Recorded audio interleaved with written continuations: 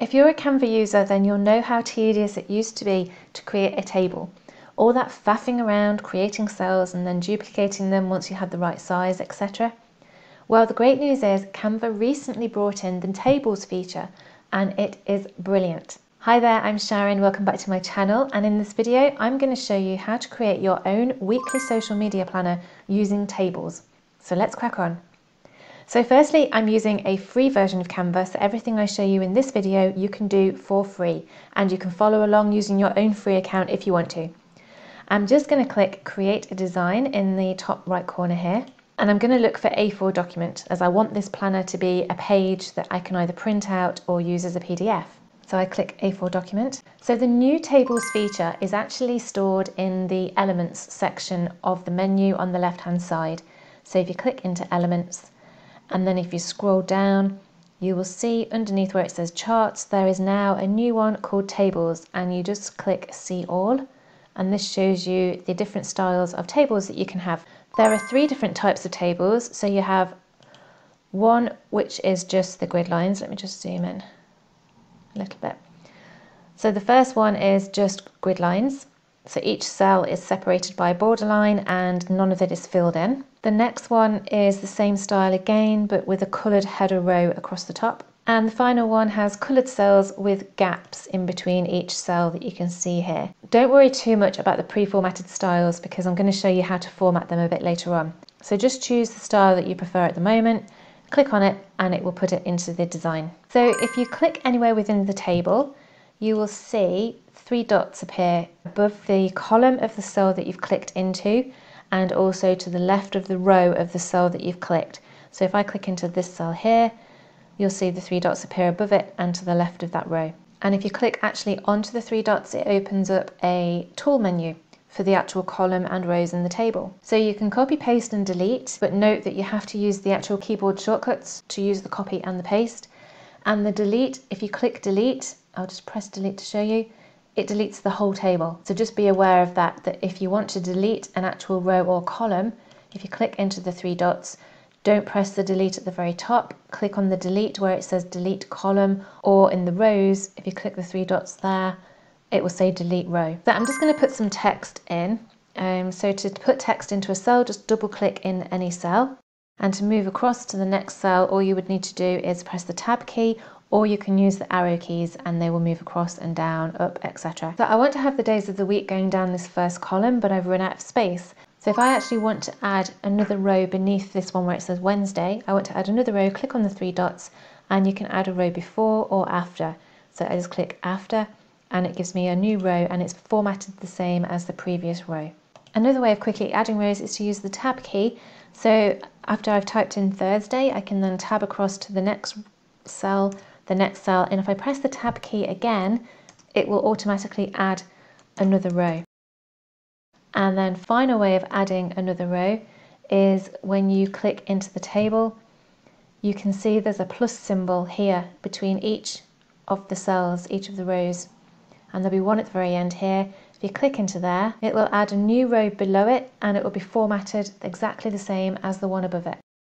So as you can see I've now filled in the days of the week. And it's the same with the columns. If I went under the column adding at the end of this table, I click on the three dots and I want to add a column after, which will add it to the right. Click three dots again, add a column before, which will add a column to the left of the column that you're selected. So a quick way of adding columns, if you hover your mouse over between the um, cells at the top of each column, you'll see that the plus symbol appears. And all you need to do is click on the plus at the top of the table and it will add a new column to the right, which will be formatted the same as the one to the left of it. So if I want to add another column at the very end of here, hover over the very end of the table, the top corner, click on there and it will add another column to the, to the right of it. I actually only want four columns, so I'm just going to click on the three dots and delete that column. Another way of bringing up the tools option for the table is to right click on any cell in the table and it brings up the same menu with all the options of moving columns, rows, adding, deleting, etc. If you want to move any columns into a different position, all you'd need to do is again right click on the cell of the column that you want to move and if you scroll down a little bit you can see here move column right, move column left. You can also move that row down and if you selected one further down there would be an option to move the row up as well. So if you want to resize any of the cells, so let's say for example we want this column, the second column, we want it all resizing. If you actually click and hover between the two cells here, you can see there's a blue line appears and the cursor goes to a double-ended arrow and all you need to do is click and drag and that will resize that particular column.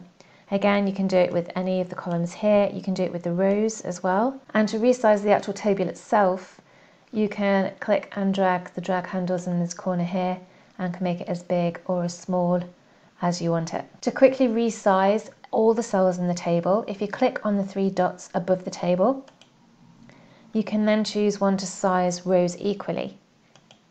So that puts everything at the same size. And again, if you click on the one on the left, you can now size the columns equally as well. So now all the rows and the columns are of equal size. So as you can probably tell, the, the table itself is fully customizable. All you need to do is click anywhere in the table and at the top of the page you'll see three new options to the left of where your text formatting options usually are. So there is a coloured square which is where you change the colour of the selected cells. If I go into the Monday cell here, click in the coloured square and you can see that that's what's been chosen. Now I want to change it and change it to that one. So that's, that's changed just that one particular cell. If I want to change all of these cells to the same colour, click the cell you want to start with and then press shift whilst clicking the last cell that you want to change. So I want to change the cell that is day and I want it to be this whole column here. So I press shift whilst clicking Sunday and you can see that this is now selected all of this column. If I go into the, co the colour square in the top left corner and change it to the colour that I prefer and all of them are now changed. And the same goes with the ones across the top here. I want all of these to be the same colour so I click into the first one, press shift and click into the last one and you can see all these four are now selected click in the color square and choose the color that I want. So that's the color option. The next icon next to it is one that opens the border formatting. So again, I'm going to select my cells first and I want to select these light pink ones here. So I click on that one and then I hold shift and press the very last one in the bottom right corner and you can see all of these pink squares are now selected and I actually want these to be white so I'm going to go into the color first and I'm going to change it to white and now I'm going to go into the border option next to it and you can choose the position of the border that you want around each of the selected cells. So for example, you can just have the top selected, you can choose all the borders inside and out, you can choose the colour of the border line and the weight of it as well, the thickness of it. So I'm just going to choose all borders and I'm going to choose the colour. I want it to match and the weight. So the weight is the thickness of the border line and you just use the slider to change the thickness and you can see it actually move, actually changing in the preview here as well as I'm doing it. So I think that should be okay. Click off there and you can see this is the new table. So if we click back into the table and go to the final icon in the menu across the top and that's table spacing. So if you click into there, you can then use the slider to increase or decrease the space between all the cells.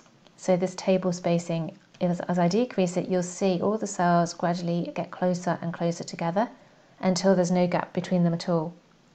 And then you can have it further apart as well. So I'm just going to keep it as that. So you can see the text doesn't really look very good here. So I'm going to select that first cell. I'm going to hold my shift key down and go to the very bottom where it says Sunday. So all of these cells are now selected and any text that you put in you can see there's a text formatting options across the top, the same as it normally is. And it works the same. You've got your font, you can choose your different fonts, your size, the color, bold, etc.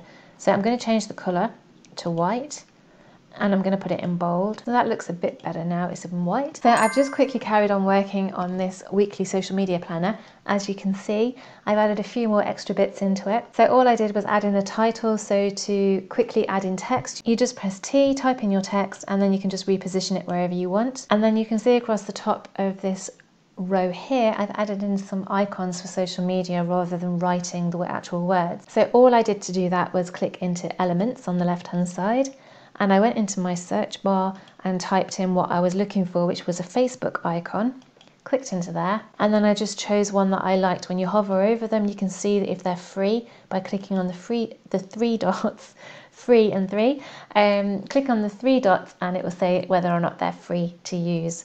And obviously I just selected the ones that are free because I'm using a free account as well. And then I just clicked on the one I wanted to use and then just re-dragged it using the drag handles in the corners here I just literally clicked and dragged it until it was a height that I wanted it to be at and then just repositioned it into the correct column header and then change the colour by clicking on the, the colour square in the top here and just changed it to white. So it's pretty easy to do, pretty straightforward to do. And then I just did the same with the rest. I searched for Instagram icon, Twitter icon and YouTube icon and then did the same thing.